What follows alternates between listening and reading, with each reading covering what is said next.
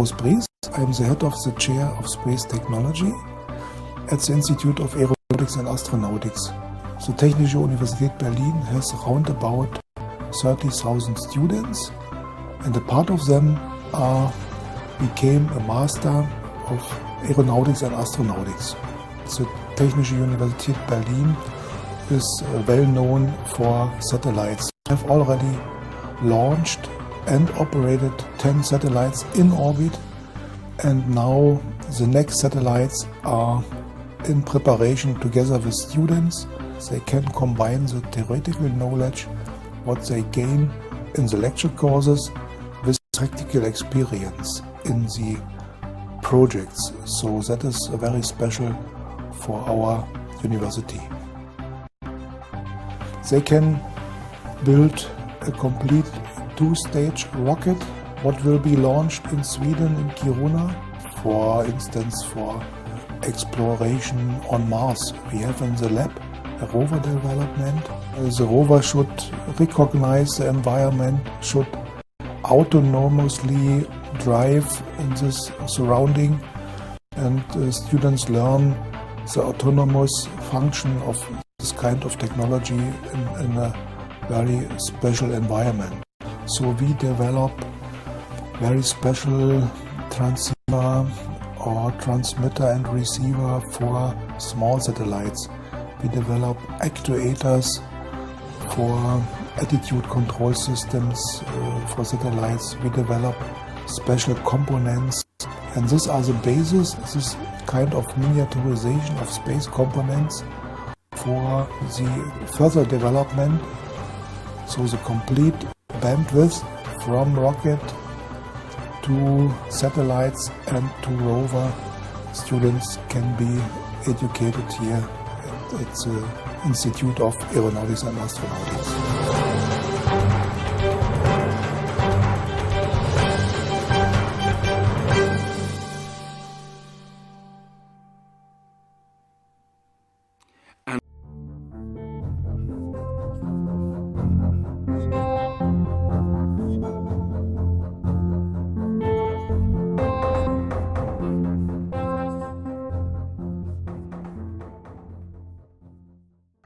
First of the two sessions dedicated to aerospace engineering. What aerospace engineering means, everything about aeronautics and astronautics, but I would like to concentrate my contribution on satellites.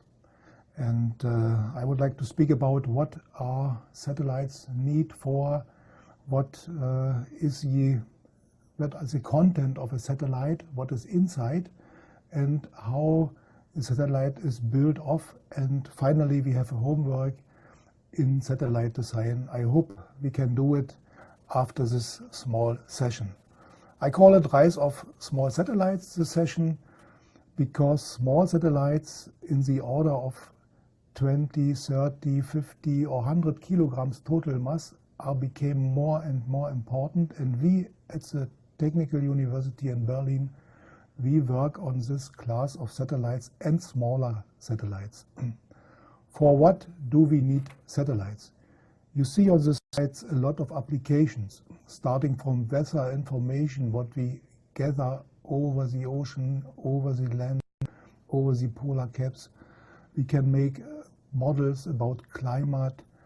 Uh, also satellites gather data from remote areas and collect the data and transport, store the data on board, transport them to a final target area and send down to the Earth. Multimedia communication is not possible without satellites.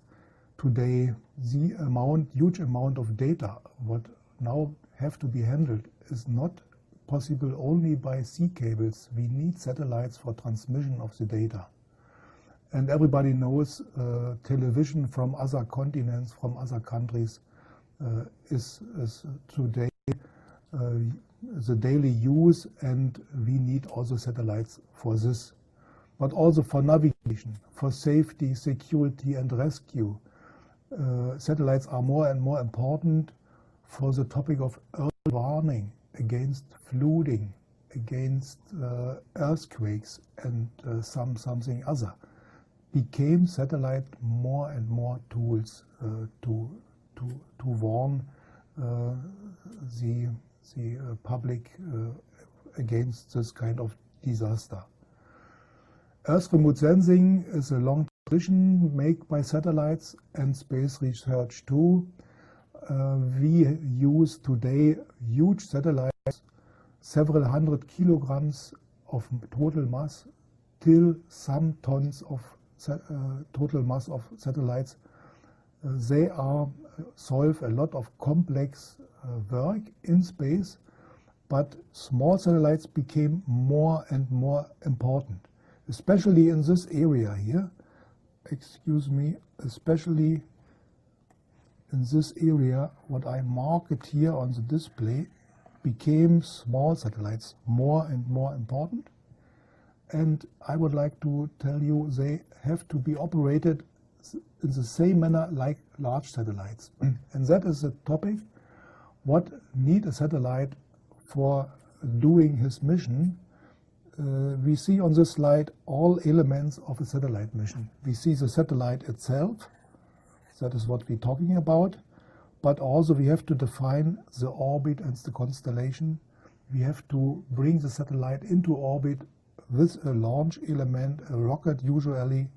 We have to define the communication architecture, ground stations, mission operation tools, and also some kind of data processing, archiving, and distribution facilities we have to define. Yeah, small satellites is a topic. And what is a satellite? A satellite actually is a name come from companion on the way. and a nice companion on the way is a baby.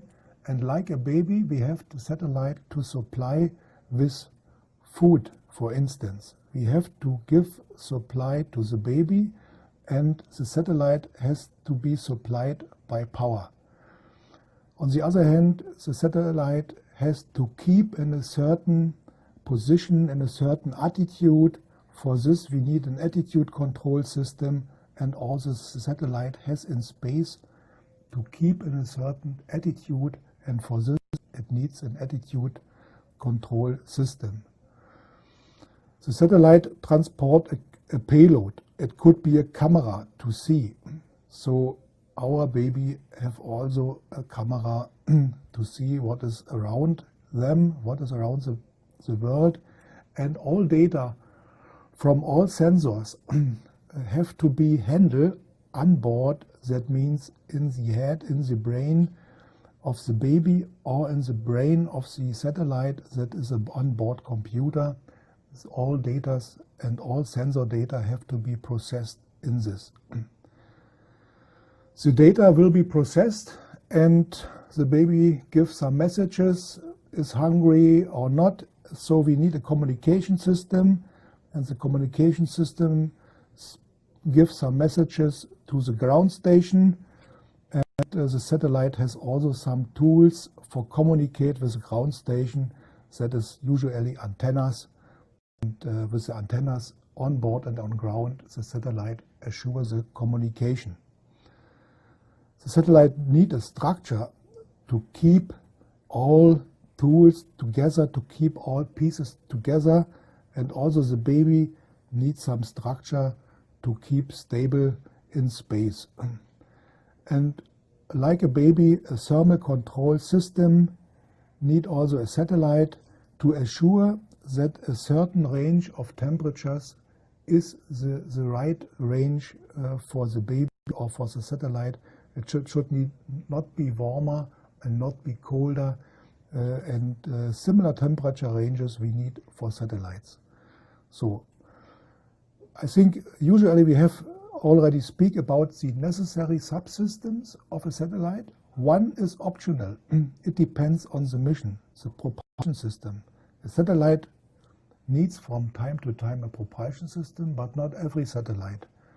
That means also the baby have to have from time to time some propulsion system and has to go in the world, but it's not necessary to do it in every mission.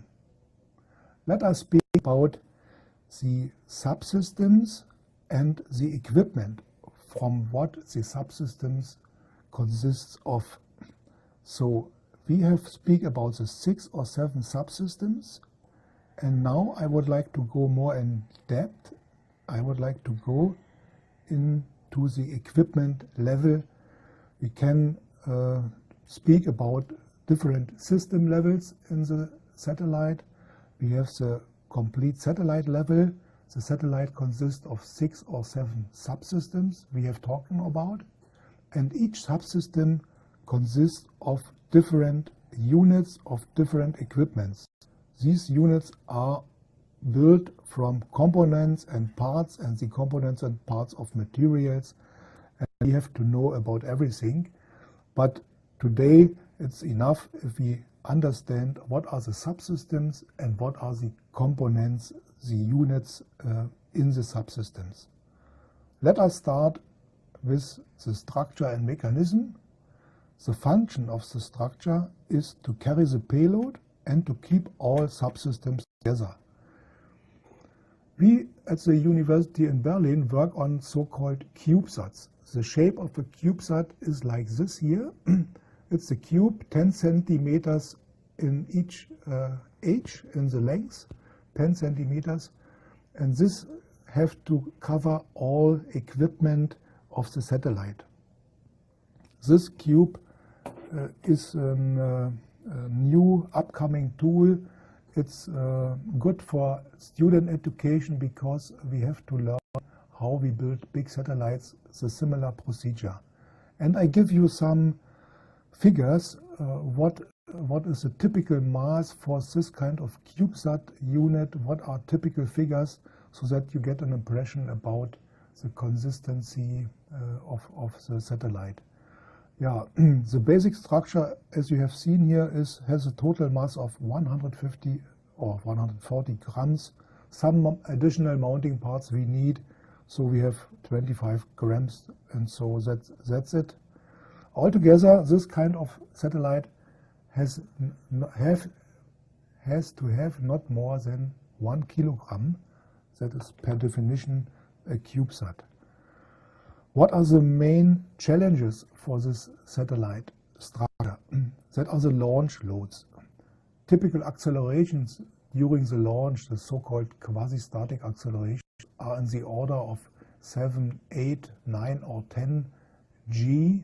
That means acceleration uh, on the, uh, the g from the Earth acceleration. And this has to bear the structure and uh, to take with a several special margin to take this kind of, of forces what work as a load on the satellite has to take by the structure. Additionally, the rocket produce sine vibrations, produce random vibrations, produce a lot of noise. It is really a, a huge acoustic load and shock loads generating by separation of each stage of the rocket and also by, generate, uh, by separation of the satellite from the upper stage. That cause some shock loads and the structure has to to take care uh, that no, nothing of the units, nothing of the parts uh, take uh, some damages because of these loads. So that is one special challenge for a satellite structure. And of course, the material has to be stable in vacuum and during direct sunlight radiation. That means not every material special with some volatile components we can use. The electric power subsystem feeds the satellite with energy. Without electric power, the satellite can do nothing. And uh, so the generation, the control, the storage of energy, and also the distribution of energy. That are the main functions of the electric power subsystem. What are the main challenges? The main challenges are the equipment what we use for, for the electric power subsystem has to be qualified for vacuum and for the radiation environment. Not every electronic unit is suitable for this kind of environment. The second challenge is all equipment is on and the battery has to be loaded during daylight conditions and that the electric power subsystem has to, to deal with it. It is a lot of, of energy to deal. And another challenge could be what is happening at night. at the night uh, side of the Earth and we switch all devices on, the, the transmitter on and so on, a lot of power consumption, taking the power from the batteries, from the energy storage, uh, that has to be on a certain level. We should not make the battery empty of energy that uh, cause some damages on the battery. So you see in the table some typical values for a CubeSat. So batteries, we use a double pack, for instance, with a total mass of 200 grams. And in the uh, other column, we see the, the mm, headline average power. Average power means we uh, make an average of the power consumption over one orbit. Not in the complete orbit, uh, the power distribution unit or the power control unit work in the same manner. So uh, it's, it's an average value. Some other devices will be switched off. We see it in the table um, that the values are low. That is because we don't need some devices not during the complete orbit. Let us come to the next slide. If we get electric power inside of the satellite, we generate heat. We, we consume the electric power and they will be converted into thermal energy. And the thermal energy has to, to radiate into the space. But uh, the temperature in the satellite has to keep uh, in this range that it is suitable for electronics because most of the parts are electronic components. So we have to keep in space the temperature like you have in your computer, like you have in your display. This kind of temperatures we have to assure also in space. And to do it under any circumstances, the thermal control system do this work. Usually it consists of a lot of temperature sensors for instance, 20, 30 temperature sensors and at different places that we can, that we can uh, measure the temperature. Some heat conductors to bring a special heat uh, generation point, the heat away from it, to a radiator surface to radiate it into space. And we see here the most external heat radiation sources in the picture, the sun, the reflected sunlight, we call it albedo uh, radiation, that is the planetary reflection of the Earth to the satellite. And also the Earth has a certain temperature, for instance, 300 Kelvin, and it radiates also some, uh, yeah, some energy to the satellite in the direction of satellite and all the electric energy what the satellite generate, mostly of them will be also converted into heat energy and the satellite has to radiate it in space or to keep it for the night uh, side to, to keep it, to store it in a special mass uh, capacity of for, for the heat. The attitude control subsystem stabilize the attitude and uh, take care that the satellite can direct the antenna to the ground uh, or to the, the earth or maybe point the camera to the earth. So the attitude control subsystem is very important. And the challenges are the equipment must be qualified for vacuum and radiation environment. And also the main task, some disturbances coming from outside, some air molecules in the upper atmosphere, in the space. The space is not free from, from air. The space close to the Earth has some uh, atmospheric uh, molecules and uh, they cause some attitude uh, disturbances and the attitude control system has to compensate it. Also the sun has a uh, solar pressure, also some mass uh, from the sun will be ejected in the direction of Earth and cause some disturbances. The attitude control system has to compensate it. We see here on the table uh, some figures about typical values and actually the magnetic coil or the reaction wheel need if much more power if it is switched on and if it uh, is uh, in work but uh, not is not necessary to to switch on over the complete orbit over the complete time. So the average power means over one orbit in average. Onboard data handling system is usually the computer, takes the telecommands from ground uh, and give it to the subunits and also take some health data, we call it telemetry data from the satellite units. That means temperature values, uh, voltages, power, take this and uh, store it in the memory, send it down over the next ground station path. The communication subsystem, of course, assures the communication between satellite and ground station in both directions, uplink and downlink.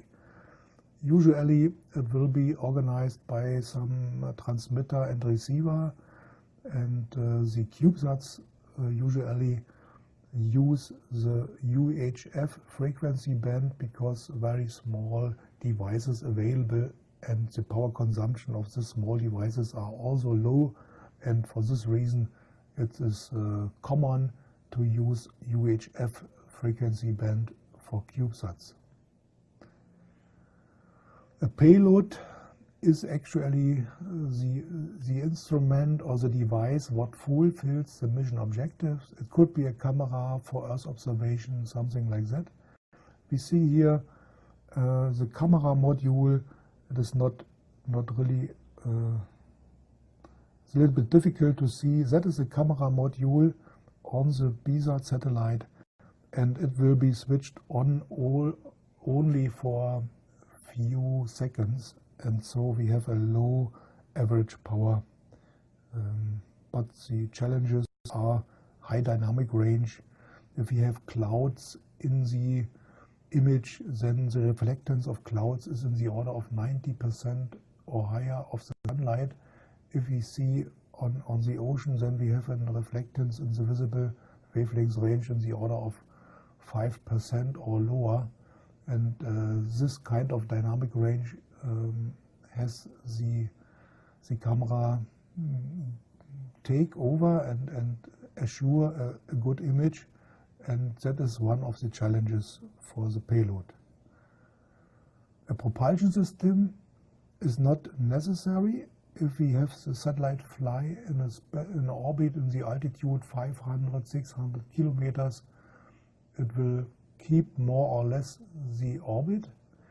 Uh, but if a, a propulsion system is necessary for the mission, then some different kinds of propulsion are possible. Here we have a typical propulsion system for nanosatellites, the so-called Aquajet Resistojet. It's a green propulsion system because it works uh, basing on, on water that will be heated up to water vapor and the water vapor, the steam will be go out through the nozzle and generate thrust of the uh, of the satellite, for the satellite. So we have speak about seven subsystems. Six of them are necessary and the propulsion system from time to time necessary. Now I came to the homework. what should you do? Actually, you should take the tables, uh, what I have given to you, add all uh, power consumption what we have and um, we say all the um, power what is given to you in, in the average is is uh, the power in the eclipse time and the power during daytime. We need this power during day and night and you should calculate what power should the solar arrays deliver for this purpose. That's not only depending on the, uh, the addition of the both, uh, it is depending on the time of work. so the, the point is, you see here in, in a special emphasis uh, an Earth orbit about the poles and the sun came from the left side and we see here um, the illuminated part of sunlight of the orbit is bigger than the non-illuminated part.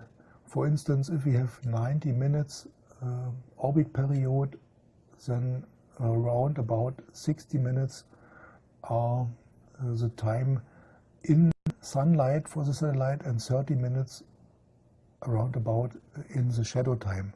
And you should calculate what is the power, what we need for this satellite, what you have now the numbers, basing on this additional information what we given to you, the orbit altitude of 500 kilometers, that we, uh, so we can use calculate the time, the period uh, of the, the orbit period of the satellite, what is the complete time t over one period, and starting from them, you calculate the eclipse time. That is the T eclipse is the time in darkness, and T D means T during daylight is, is this actually the equation is the total orbit time is daylight time plus time eclipse. And if you have this then you can calculate the PSA, the solar array power, what we need. If we take into account a certain efficiency factor for daylight power uh, subsystem and for the nighttime power subsystem. We have different uh, efficiencies during day and night. And uh, that is my question to you. How many power should the solar array or the solar arrays generate. Yeah, I wish you a little bit fun uh, to solve this small design work and uh, I hope uh, you have a better understanding about satellites and hope to see you sometimes here in Berlin. Bye bye.